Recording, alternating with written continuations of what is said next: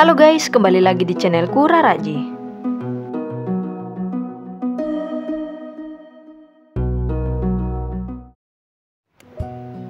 Begitu banyak tugas yang harus kamu kerjakan dalam permainan, mulai dari bertani, mengurus ternak, memanen tanaman, menambang, berjalan, dan masih banyak lagi.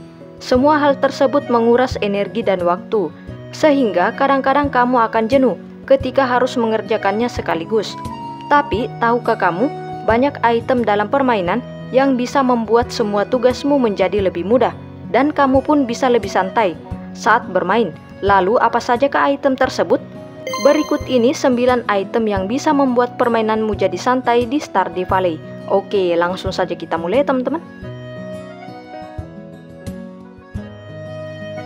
Pertama, Iridium Sprinkle. Salah satu aktivitas yang membuat pemain jenuh adalah setiap pagi kamu harus menyiram tanaman. Jika kamu menanam bibit, apalagi jika kamu menanam bibit tanaman dalam jumlah yang banyak, dan kamu harus menyiram tanaman satu persatu. Hal ini cukup memakan waktu dan juga menguras energi. Ditambah lagi, kamu harus melakukan aktivitas lain selain menyiram. Ini pasti cukup melelahkan. Tapi tenang, setelah kamu meningkatkan level 9 keterampilan farming, kamu bisa membuat alat penyiraman otomatis yaitu Iridium Sprinkle. Benda ini akan menyiram tanamanmu setiap pagi secara otomatis dengan ukuran tanaman 5x5. Tersedia beberapa jenis sprinkle, namun paling terbaik untuk menyiram karena mampu menjangkau lebih banyak tanah adalah Iridium Sprinkle. Jadi segera buat Iridium Sprinkle ini sehingga kamu bisa mengabaikan penyiraman tanaman dan melakukan aktivitas lainnya. Kedua kandang deluxe. Setelah memiliki kandang ternak di pertanian, kamu pasti akan sibuk menaruh jerami di tempat makannya setiap hari. Ini pasti melelahkan, tapi jangan khawatir, ayo upgrade lagi kandang hewanmu ke level deluxe, baik itu untuk kandang ayam ataupun kandang hewan besar di Robin Carpenter. Dengan memiliki kandang ternak dengan ukuran deluxe, kamu tidak perlu lagi khawatir untuk menaruh jerami di setiap tempat makannya karena hal tersebut akan disalurkan secara otomatis, asalkan silomu penuh dengan jerami. Jadi, kamu bisa lebih santai dan urusan memberi makan hewan pun bisa teratasi dengan mudah. Ketiga, seruling kuda. Kuda memiliki kecepatan lari yang lebih kencang daripada karaktermu. Hal ini cukup membantu jika kamu ingin cepat sampai ke suatu tempat namun, kudamu tidak bisa dibawa ke mana saja. Mau tidak mau, kamu harus meninggalkannya. Tapi tenang, jika kamu memiliki saruling kuda, kamu bisa memanggil kudamu di mana pun dan kapan pun kamu mau. Dapatkan saruling kuda di Pulau Jahe dengan membelinya dari ruangan Tuan Ki seharga 50 ki game. Keempat, Autopeter. Dengan memiliki kandang yang penuh dengan hewan ternak, itu artinya tugasmu tambah berat – kamu harus menyapa mereka satu persatu agar poin hatinya tidak menurun. Karena jika poin hati ternak menurun dan marah, mereka tidak akan menghasilkan produk. Hal ini pasti melelahkan, apalagi jika kamu punya hewan ternak yang cukup banyak. Waktumu akan terkuras hanya untuk menyapa ternakmu. Tapi tenang, mesin autopeter bisa membantu. Belilah dari Morris Jojamart jika kamu menjadi anggotanya. Selain dibeli dari Morris, Autopeter juga bisa ditemukan secara random saat membuka peti, khususnya di gua tengkorak.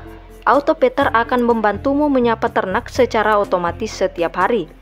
Jika ditempatkan di dalam kandang hewan, sekarang kamu tidak perlu lagi pusing dengan urusan menyapa ternak. Ada autopeter yang kerjakan. Kelima, Guts Cruiser Ketika menambang, kamu pasti akan menemukan beberapa batu gyuts. Batu gyuts yang kamu temukan ini harus dibuka untuk melihat isinya. Untuk membuka gyuts ini, kamu harus datang ke Clean dan membayar 25 gold per satu kali memecahkan gyuts. Hal ini pasti cukup menguras gold. Tapi tenang, sekarang kamu tak perlu lagi membukanya di Clean. Kamu bisa membuka gyuts sendiri di rumah.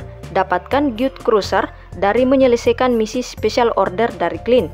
Setelah selesai, Clean akan mengirimkanmu resep membuat Good Cruiser yang bisa kamu buat sendiri dan kamu akan menghemat 25 gold untuk membuka goods. Keenam, Return Scepter. Berjalan dari satu tempat ke tempat yang lain di Stardew Valley cukup memakan waktu. Contoh, kamu ingin pergi ke tambang, lalu pulang lagi. Ini pasti melelahkan, dan waktumu akan segera habis. Atau, kamu kecapean dari tambang dan hampir pingsan, dan karaktermu pun berjalan dengan lambat. Namun mustahil untuk segera sampai ke rumah dengan cepat tanpa harus jalan kaki. Tapi tenang, tidak ada yang mustahil. Dengan memiliki Return Scepter, kamu bisa langsung pulang di depan rumah ke mana pun kamu pergi, hanya dengan sekali klik dengan bantuan Return Scepter ini. Belilah dari Krobus seharga 2 juta gold. Harga yang tidak murah untuk kamu yang belum punya banyak gold. Tapi harga ini sepadan dengan manfaat dari alat ini. Jadi kamu bisa pergi ke mana saja sesukamu tanpa khawatir terlambat pulang sampai di rumah.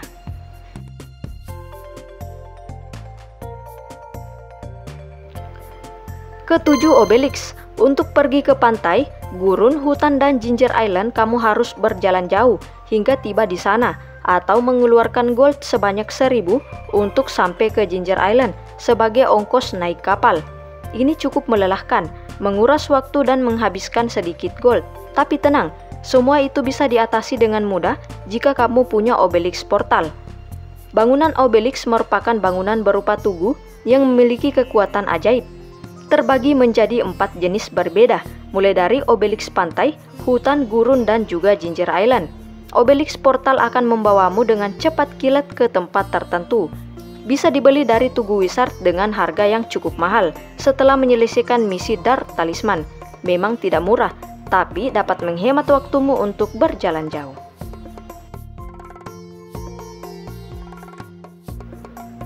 Kedelapan Junimo setelah tiba masa panen, kamu pasti akan kelelahan untuk memanen tanaman yang begitu banyak. Jika kamu menanam bibit yang banyak, kamu harus bekerja ekstra untuk mulai panen satu persatu. Hal ini akan memakan banyak waktu dan tenaga karaktermu. Tapi ini bukan masalah ketika kamu menaruh rumah Junimo di ladang. Mereka akan membantumu untuk memanen semua tanamanmu yang sudah matang jika diletakkan dengan benar bisa dibeli di Tugu Wizard setelah membantu Wizard menyelesaikan misi Dark Talisman. Serahkan tugas panen ini ke Junimo dan semuanya akan beres.